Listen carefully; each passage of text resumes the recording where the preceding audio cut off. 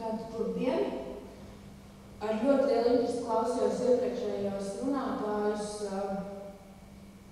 Un, uh, mans pirmais secinājums, mums es vispār kā gribētu iesākt, tāpēc, ka būs uh, trīs atsevišķas tēmas. Uh, no iepriekšējiem runātājiem es sapratu to, ka uh, zināšanas rada izpratni un izpratne rada uh, pielietošanu, kas ir baigi akadēmiski un šausmīgi pedagoģiski, bet viscaur šīm lekcijām gāja tas, ka ja mēs uh, zinām tas, kas mums ir, tad mēs varam viņu izprast, un pēc tam mēs varam lietot. Uh, un nezināšana lielā mērā mūs uh, ievada kaut kādās bedrēs. Sāksim ar to, kad iepazīsimies. Kā jau man pieteica, esmu Kulkops arborists. Arborists praksēju 12 gadus Latvijā. 10 no tiem es esmu Kulkops arborists. Bet ar to tas tā kā īsti nebeidzās. Kā jūs redzat, man ir iepriekšējā izglītības, esmu gan dārzniece, gan agronoms, gan biologs. Mēģinājis savā dzīvē salikt saistītās nozares, lai mēģinātu arī nu, būt uh, zinošs un spētu palīdzēt tiem, kam vajag palīdzēt, un arī pats saprast, ko daru. Uh, ikdienā vispār vēl joprojām esmu kokos, uh, esmu aktīvs kokops arborists, arī masalacā, mēs šodien skatīties pāris kokus, kuros arī esmu bijis augšā un, un, un, un darbojusies. Uh, par tiem mēs parunāsim smalkāk, bet uh, jā, desmit gadus esmu uh, satikusi gan kukaiņus, gan uh, zvērus, gan dobumus, gan uh, viņos likstojošos putnus. Uh, tā ir man priekšrocība, tad, kad esmu tur augšā, tad uh, es uh, mēģinu pamanīt un uzzināt, kas tas ir, ko viņš ēd, kāpēc viņš tur ir un kā man viņu uh, tur saglabāt vai netraucēt, vai, vai ko ieteikt saimniekam, lai tas tur arī dzīvotu. Pirmais, par ko es gribētu runāt, tas ir par kokiem ārpus meža zemes. Un, ja iepriekšējais, neskatot tās tēmas par ainavām, mēs bijām mežos, un mežā uh, koki ir kopums, un tā ir vērtība kā kopums, kā teritorija. Tad uh, visi tie koki, kas dzīvo ārpus meža zemes, katrs koks ir individs, katrs koks ir vērtība, un mēs viņu uztveram kā vienu uh, īpašu, un mēs darbojamies ar vienu koku. Uh, starpības starp šo koku, kas dzīvo ārpus meža to, kas dzīvo meža zemē, ir ļoti liela. Ja mežā ar kokiem viss ir kārtībā, vairāk vai mazāk, viņi dzīvo savā sabiedrībā, viņi zina, kā tur rīkoties, viņa dabiskā vide. Tur mums ir skaisti, slaidi koki ar vienu galvu, viņiem stumbru, viņi ražo koksni, viņiem ir maz zaru, mēs tīram pamežu vai kā savādāk apsaimniekam, beigās mēs iegūstam koksi. Tad, mēs šodien koku izvēlam ārā no savas dabīgās vidas, kas pilsēta, tad man patīk salīdzinājums, ka tas koks apjūg Un viņš uzvedās kā amerikānis McDonaldā, ka viņš īsti nesaprot, kas, kur, man viss tas tik daudz, un visu, ko es varu, nav nekāda ierobežojuma, beigās mēs dabūnam prēsnu, uzblīduši amerikāni, kas pats ar sevi netiek galā. Kas ir jāsaprot pašos pamatos, nu, kas tad tam pilsētas kokam ir vainas? Pirmais, kas viņus visus regulē, gaisma, un ja meža kokam ir jātiecās uz augšu, ar trim zariem ved uz augšu, tad pilsētas kokam to nevajag. Viņš var dzīvot, viņam ir seši zari, tie zari ir kāri, daudz lapas, viņš sāk ražot savas uh, augļus, zīles vai čiekurus, un viņam uh, nu, vairs neko nevajag. Viņš ir sasniedzis savu to ražošanu, bet kāds viņš izskatās? Augšā bildi, diemžēl, no, no, no kaut kādas ārzemēm, bet uh, arī šādi koki mums gandrīz Latvijā ir. Pa puskvartālu ir uh, milzīgs koks ar milzīgiem apakšējiem zariem. Uh, un viņš beigās, uh, viņš nespēja noturēt šo savu masu. Uh, un tāpēc, laikam, ir radies kokops arborists. Kokops arborists nestrādā mežā. Ne, nu, ja no meža vajag uztaisīt parku vai meža parkā vai kaut ko atjaunot, tad tie ir izņēmumi gadījumi. Bet praktiski kokops arborists mežā neiet, viņš neko nezina par meža apsaimniekošanu, par meža likumiem, par, par visu to, ko, ko iepriekš runāja, kokops arborists mums nekad nedrīkst palīdzēt. Kokopja arborista tā, tā slauciņš ir šis, un beigās tas koks, kad viņš nevar sevi savaldīt, tad šie ir reāli koki, tas viens ir, tie ir Rīgas parki kaut kādi. Rīgas parkos katru gadu lūst koki, arī viņiem ir štata arborists, kokopja arborists, un tur lūst koki. Tas ir jautājums, vai tas, kur, kuram tad tas akmens tajā lauciņā, bet Pēdējā laikā Rīga arī cietis smagāk. Uh, šis gan ir tāds vecs, šis ir viens no retiem gadījumiem dozols, kā samaitā. Uh, parasti Rīgā krīt uh, vītoli, kļavas, ievas izgāžās ar saknēm, uh, bērns, ko ir aptupējuši. Uh, šis ir vecs gadījums, kad ozols trāpīja, trāpīja spēcīgi, Ja jūs paskatīsieties, kāds ir ozola vidus, tas ir apmēram, nu, es minu, to ozolu es nepazīstu personīgi, bet tie ir kādi gadi 30, kamēr viņš ir trupējis, un tad viņš sevi nav varējis saturēt.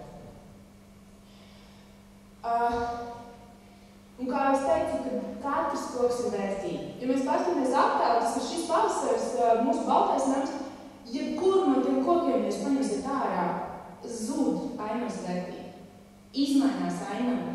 Uh, pilsētā katram kokam ir tā unikālā vērtība. Sarakstīt tās, ko, ko iepriekš teica, neaprēķināmās. Uh, par bioloģiskajām uh, runāju. Pilsētā nāk ļoti klāt šī te temperatūra ēna, ja koks ir pareizā vietā. Un tur arī ir spožums un posts. Katram no šiem apstākļiem ir uh, pozitīvais, negatīvais. Ja vienam ēnu vajag, bet koks savu ziemeļu pusē, tad kaimiņam to ēnu absolūti nevajag. Uh, sociālā pēdējie trīs gadi ir uh, ļoti īpaši ar uh, sociālajiem tīkliem, ar apkārtņu biedrībām, ar cilvēku protestiem. Pēdējais Marsa parks Un viss pārējais sabiedrība modusies. Un uh, kāpēc ir modusies? Man liekas, ka cilvēkiem ļoti maz paliek tās iespējas, ko viņi var ietekmēt. Un, uh, ja tu pazīsti to koku, kas tev aug aiz, aiz tavā dzīvoklis loga 30 gadus, un kāds vienu dienu atnāk nozagt, ja? tikai tāpēc, ka būs līdz, tad nu, tur aiziet pa gaisu cilvēku emocijas, bet viņš to nevar ietekmēt jo tā nav viņa teritorija. Viņa žoks sniedzas tur, kur viņa žoks sniedzas. Tā kā pilsētā šis ir ļoti, ļoti sarežģīti, un cilvēki ļoti pieķeras kokiem. Dažkārt mājokļus izvēlas. Dzīvokli izvēlas pirkt tikai tāpēc, ka tur ir koks, vai tur ir bērnota laukums ar kokiem. Un uh, tad, uh, tad uh, ļoti, ļoti pēc tam ir asas diskusijas par to, ka tie koki ir neaizskarami. Pat krūmi imantā ir neaizskarami. Tik neaizskarami, ka tev nāk omīte ar izskatu virsū, imantā, pagājušo gadu. Un tu sauc policiju, nevis viņa sauc policiju, bet es saucu policiju. Lūdzu, mūs tas slepkavo ar izskatu. Uh, un uh, ekonomiskā, uh, tas ir par to, par ko runā. Pie likumdošanas paskatīsimies, varbūt tās, kas to reglamentē. Šobrīd Latvijas valsts domā, ka jebkuram kokam ir malkas cena. Tas ir vienīgais uh, likumiskais veids, kā sareiķināt koku vērtību, kas ir atrunāts likumā, ir malkas cena. Uh, Latvijas kokopju arboras biedrība ir izstrādājusi vadlīnijas, kā aprēķināt koka vērtību. Tur ir tādas tabuliņas, un tur ir mēģināts iekļaut šī te ekonomiskā, kā visa tā rekreācijas un koksmā. Vēl viens veids, kā pasaulē aprēķina koku vērtību. Rekri koks Jūs viņu sabojājat, vai jūs viņu nozāģējat liku, nu, nelikumīgi vai kā savādāk. Dabūniet no tādu pašu koku vietā.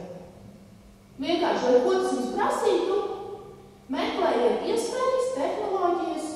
Ja jums tā ir 30 metrīga liepa, tad šobrīd pasaulē var arī pārstādīt 30 metrīgu lielu. Ņemiet un stādiet, cik tūkstoši jūs iztērēsiet. Tāda ir tā koka cena, kur jūs nesatiet.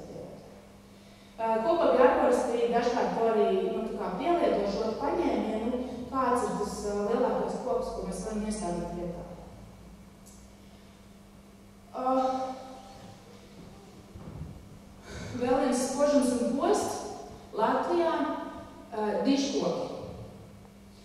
Uh, uzdošams jautājumu, kādam ir mājās kaut kur diškoks? Jūsu īpašumā ir diškoks?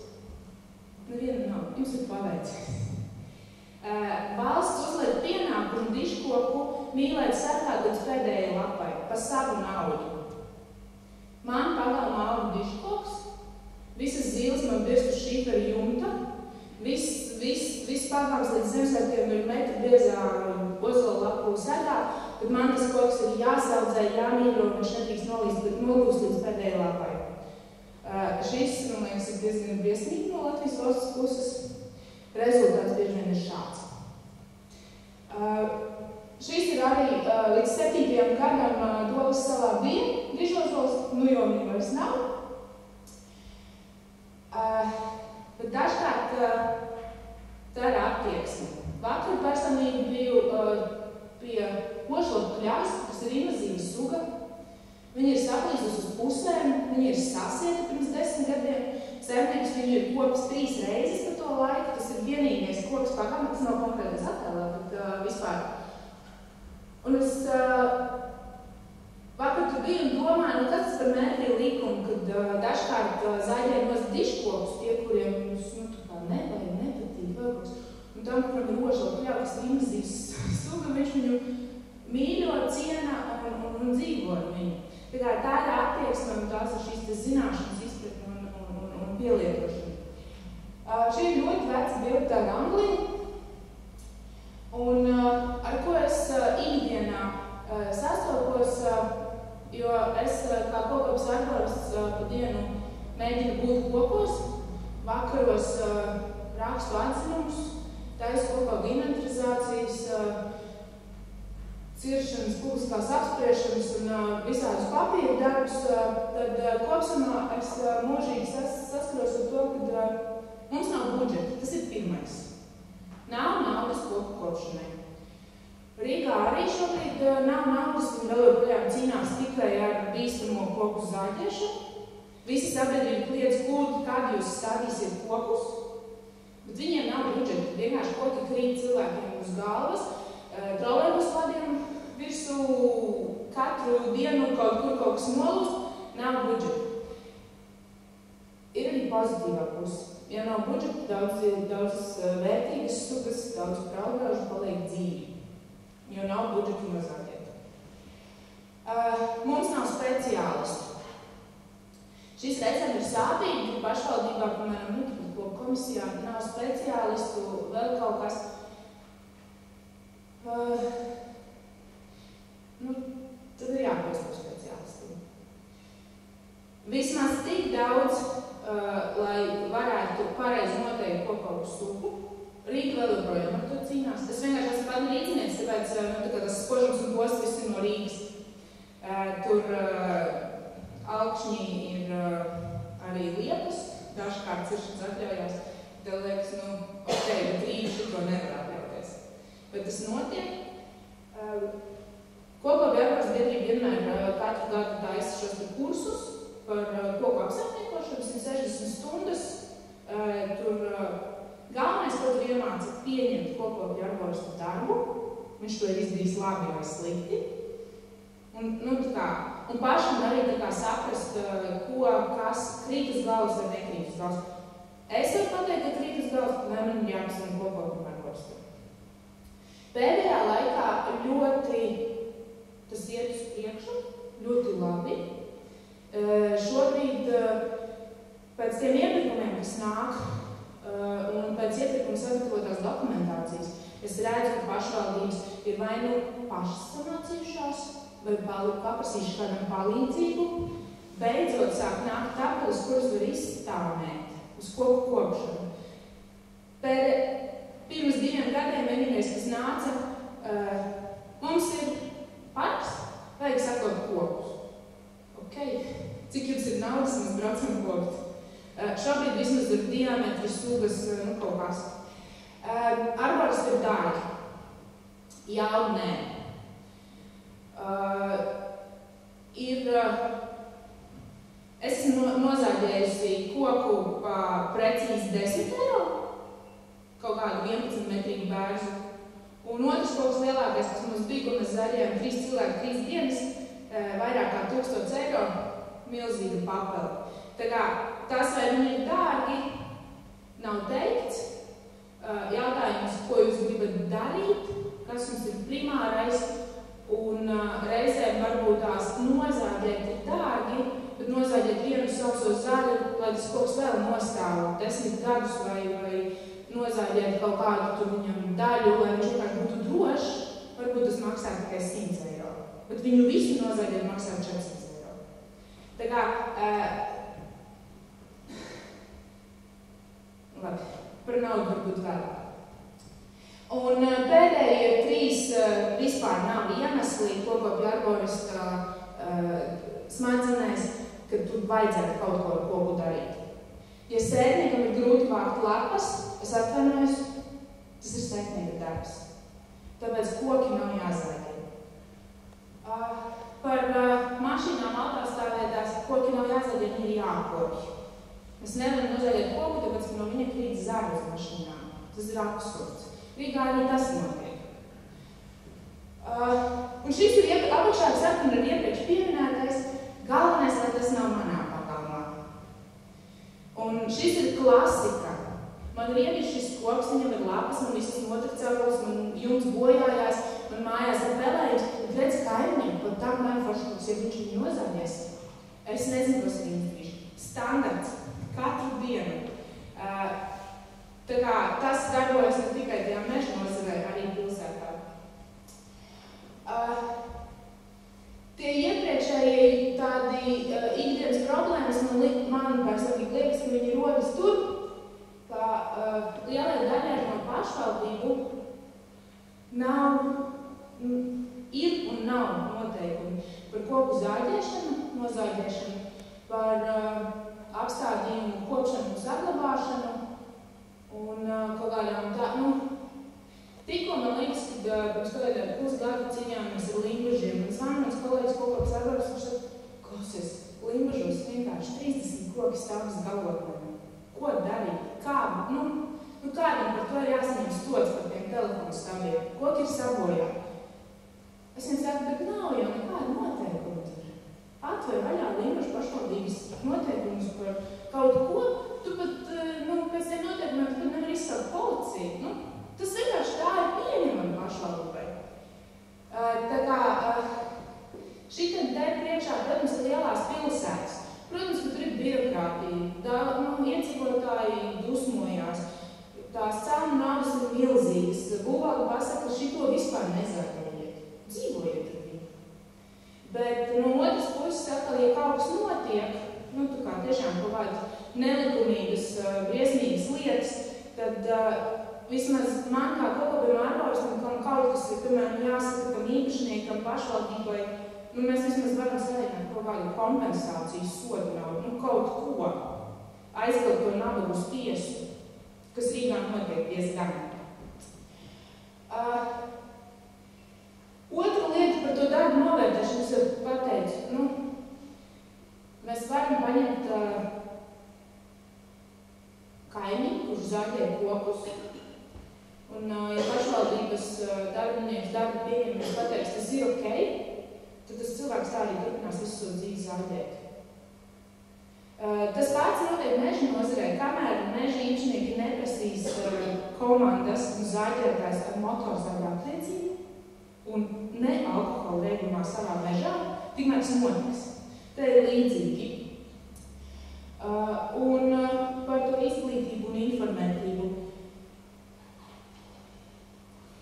Kas man tā ļoti, ļoti grūti pieņemt un pārdzīvot, un tā, tāpēc es esmu ar visām četrām kājām iekšā tajā kokopības nozarē, ir tas, ka ja šitā izdara ar kokiem, uh, tad tas ir neatgriezenisks process. Tas koks, ja viņš ataugs, viņš būs zaļš, Uh, varbūt pat uh, tad, kad viņš salipos, nevarēs redzēt, ka viņš varbūt ir aizvaļās pirms desmit gadiem. Bet viņš no savas anatomiskās struktūras vairs nekad nebūs tāds koks, kā bija pirms šīs galotņošanas.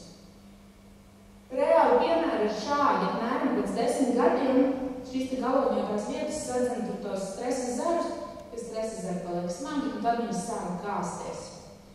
Uh, un viņi vienkārši atplīst, jo viņi nekur neturās. Kur viņi atklīst? Viņi atklīst, kādam uzkrīt uz galvas, koks ir bīstams, koks ir jānozaļie. Bet kas viņu padara bīstami? Tā kā šis te Rīgā jau sen ir aizliegts. Šis te ir tāds 50.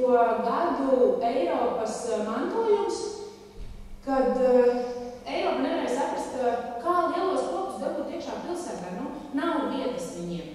Nu, tad mēs viņus mazināsim augstumā. Galvas nostelkums, tad viņi attaug. Eiropa jau sen to ir sapratusi. Viņi ir nomainījusi praktiski visus kopus, kurus viņi kādreiz ir sapratusi. Un Eiropā šādas galotņošanas mēs redzam ļoti maz. Bet mēs šo praksi kaut kā ievilkām Latvijā. Ka brīvības pieminiektu jau liekam no galotņotajām, ja kurus tagad mēs cērpam piespiedu kārtā. Uh, mēs no šīs prakses netiekam vaļā. Šī nav, šis nav veids, uh, ierobežot koku telpā. Bet jūs varat atbildēt, jo tā ir baigā problēma. Katrā vietā, kur brauc, un arī tie jautājumi, ir kaut kad cirktas liepa alēs, visbiežāk. Ir arī citi, bet liepas. Uh, un, un tad ir tie, tie briesmīgie dīvainie zari, kur šobrīd ir jau bīstami. Bet ko darīt? Nozāģēt to alē un iestādīt kaut ko vietā citu ir pareizākais uh, variants vai mēģināt eh, kaut ko saglābt no tā sabojātā koka. Pareizākais no koku viedokļa būtu zaļēt nost un stādīt jaunu, bet ne tādus kokus. Bet citas maksā. Un to pašvaldība arī var iz, izrēķināt. Ja mēs katru gadu, nu, lai tie koki būtu droši, un kokopju arboristi eh, nu, tā kā primāri vienmēr skatās drošumu, pēc tam izskatu Un pēc tam tikai pārējo tur uh, ainava un viss pārējais, un tur uh, zariņš uz to pusi nepareizi vai tā. Un, tā kā uh, arborists nokāp no, no, koka, viņš var pateikt, ka tas koks ir drošs. Un viņš būs drošs 3, 4, 5 gadus. Par koka drošību un stabilitāti neviens cits speciālists mums, diemžēl, nepateiks. Neviens mežģi, nu, jā, arī viņam ir pieredze, bet uh, tie dobumainie koki, tie galotņi, tie koki drošums ir pirmā kārtā. Un uh, man ir grūti atbildēt. Es teiktu, ka jāstāda jauni. Bet vai to var atļauties? Bet ja rēķina desmit gadu griezumā, tad iespējams, ka var atļauties. Jo viņi tāpat ir kaut kad jākop. Nu, periodiski. Šie koki uh, vienmēr būs jākop periodiski reizi trijos, piecos, septiņos gados, atkarībā no sugas, atkarībā no kas ir izdarīts. Uh, nu labi, nav jau viss tik slikti. Uh, ir arī, nu, gribu atpakaļ. Ir arī daži labie piemēri. Nu, šis, man liekas, ir uh, krūtākais piemērs, augstākais dzīvos Baltijā. Uh, kolēģi Latvijā, kaut visi šo zina, tāpēc es to piemēru arī ieliku uh, Agenskalnu ģimnāzijiem. Šiem kokiem bija ciršanas atļauja. Šos kokus mūsu kolēģi labie koki neaizgāja un vienkārši nesataisīja par dzīvžogu, jo reku viņai pacēlāja griež nost galotnes, kas ir ārpus jebkuriem pieņemtajiem principiem. Ciršanas atļauja, dariet ar kokiem, ko vēlaties. Šobrīd, jā, Baltijā lielākais dzīvžogs un jā, Pār, pārdodās lepnums. Līdzīgu piemēru paņēma uh, LMT, kuri pie ēkas būvniecības sabojāja lietas. Būvniekiem traucēja, mēs te apgriezām atkal telefonu sabiņu. Šitās ir bildītas no Google Maps, un šeit var redzēt, kā tas izskatās. 11. un 14. gads. 11. gads apmēram gadu vai, vai divus pēc apsēdiešanas. Cik viņas strauji attāla. Sakņu sistēma ir liela, ir spēks, ko darīt tālāk. Uh, Šobrīd viņas ir cirktas, tādas viņas dzīvos. Viņas, citās, es domāju, bet viņas tiek cirktas vismaz jau piecus gadus. Katru gadu, reizēm divreiz gadā, reizēm vienreiz gadā. Lai šo dabūtu, mēs LMT iesniedzām piecu gadu tāmi. Kā tas izskatīsies piecos gados, un piecus gadus mēs to cenu nemainījām. Kādu mēs viņu iesniedzām, kā mēs tām liepām cīnījāmies. Uh, tur ir šeit ir uh, 14 liepas, viņas cēra trīs cilvēki trīs dienas ar pacāpāju. No rīta kā sāk, tā vakarā uh, beidz. Šo te novērtē. LMD šobrīd uzsauc VF kultūras pilī vēl 12 liepas, kas ir viņiem kaimiņos, jo VF kultūras pilī nav naudas. Uh, un uh, otra lieta ir uh, savāži. Ši, šis ir uh, tas viens paņēmiens cirkšana, šis būs polentēšana, ka katru gadu viņiem uh, nogriezīs pilnīgi visus jaunos dzinumus un viņus turpmākajiem simts gadiem paliks šī šādas piramīdiņas un neaugs lielāk. Ja kāds ir Rīgā bijis Alberta ielā, klusajā centrā, tur Juhina stila liepiņas pie ēkām noteikti varbūt esat pamanījuši. Šis ir darbietilpīgs dārgs, bet kokam nekaitīgs apsaimniekošanas veids. Šitāds viens stabārds gadā viņiem izmaksā ap 30 eiro. Vai būtu lētāk viņus uh, izaudzēt lielus, saprast, ka nav ēkā gaisma un nozāģēt? Nezinu, varbūt šos slavēršus stādījuši darbinieki pie ēkas uh, nu, atklāšanas. Nu, lūk, maslītas koki. Uh, šodien mēs noteikti apciemos uh, labajā pusē redzamo ozolu, kuram ir dobums. Paskatīsimies, kā viņam klājas. Ir pagājuši kaut kādi pieci gadi, ja? Apmēram, apmēram 5 gadi. Un uh, es, cer, es nezinu, vai tā liepa vēl ir, bet uh, šis ir par to kaut ko drošību. Uh, liepai tika nozāģēts viss, viņa bija augšā lūzusi, viņai nozāģēts tika viss, viņai palika trīs apakšējie zari. Ejot garām, stumbrs ir palicis, augšā ir kaut kas zaļš, jūs no augšas redzat, kādā stāvoklī tā lieta, viņa ir droša.